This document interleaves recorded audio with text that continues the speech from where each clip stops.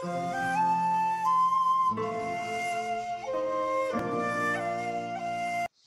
when I first started getting my craft room really organized, I started out with sandwich bags, okay? Sandwich bags, a pair of skizzers, and some ordinary labels. Now what I would do is I would take my label, take a bag, a sandwich bag, and put whatever I was organizing in the sandwich bag, okay? And then I would write out the label. I would also use these little containers that I can no longer find nowhere. Okay, again, my label. Sometimes I print them, sometimes I, um, you know, handwrite them. It depends on how I'm feeling for the day. If I want to type them, I'll type them. If I want to handwrite them, I'll handwrite them. But it's very rare that I do handwrite them. I usually just put them up on the computer and print them out to make it easier for myself.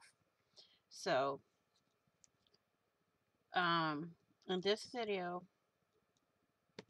I'm going to show you how I do it. Okay, say Okay, I want to save these. These are from ribbon rolls.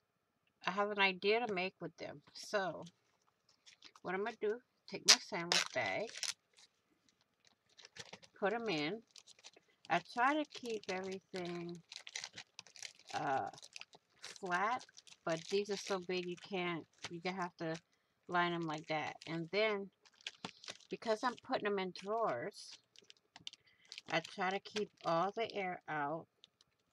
I will press this and then press all the air out and then just finish zip blocking it.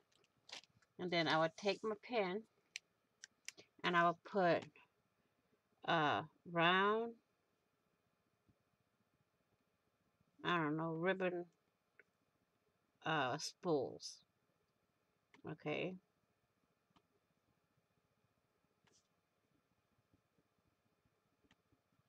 Okay, so we got that.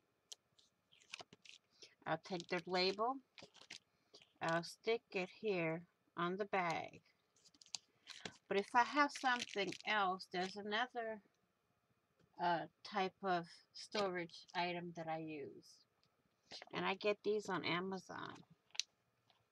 I can seal them with a piece of tape and just, again, either handwrite or type out the label and put it in the right hand corner. I can either stand them up or I can stand them on the side and I'll still be able to see the name. Which with this one, I can only stand it this way. If I put it this way, hmm, and I like to keep all my stuff the same size. So what I'm going to do is I'm going to change this to this. Okay. I'm going to take this out of here and put it in here.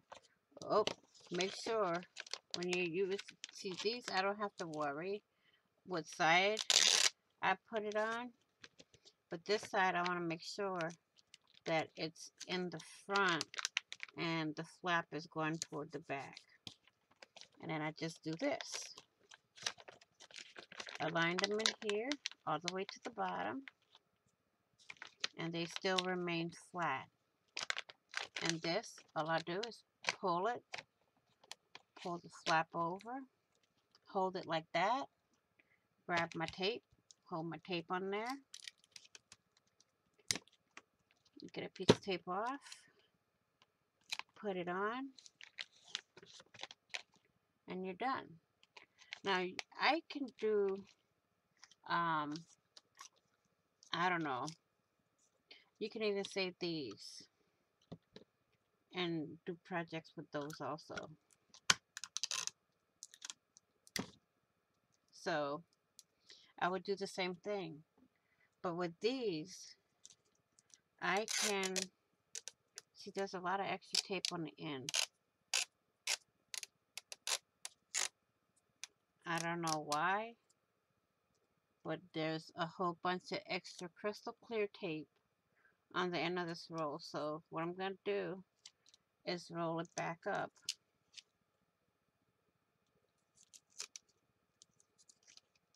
I'm going to use that tape. I'm going to trim off right there. Well, actually, no, I'm going to just keep it so I know where the beginning is and trim off a little.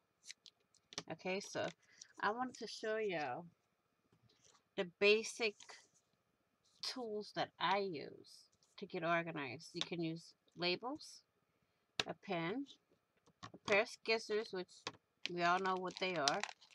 You can use these little pouches, or you can use sandwich bags. You can use tape. Hmm. There's a variety of things you can use. It's to your liking when you're doing storage or reorganizing or organizing from the beginning. So totally up to you. I mean, you can use tens, little metal tens like this. You can use that for storage. Um, I mean, there's a variety. I use these here to keep all my printables in. So I know what company, what uh, store, online shop I have gotten it from. And I just snap it, put the printable in the envelope. It's already labeled and I put it aside.